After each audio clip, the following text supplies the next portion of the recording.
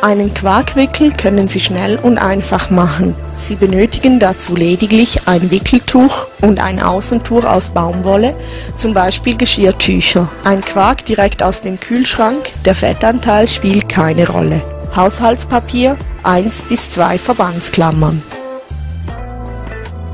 Breiten Sie das Wickeltuch aus. Wenn Sie möchten, können Sie ein Innentuch oder etwas Haushaltspapier hineinlegen, damit der Quark einfach entfernt werden kann. Geben Sie Quark auf das Haushaltspapier.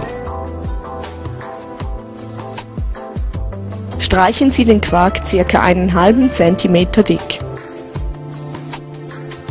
Wickeln Sie dann das Tuch darüber und legen Sie den Wickel so auf die betroffene Stelle, dass sich zwischen Haut und Quark nur eine Lage Stoff befindet. Fixieren Sie den Wickel mit einem atmungsaktiven Außentuch. Lassen Sie den Wickel auf der Haut, bis er sich nicht mehr kalt anfühlt. Bei Bedarf können Sie den Wickel wiederholen.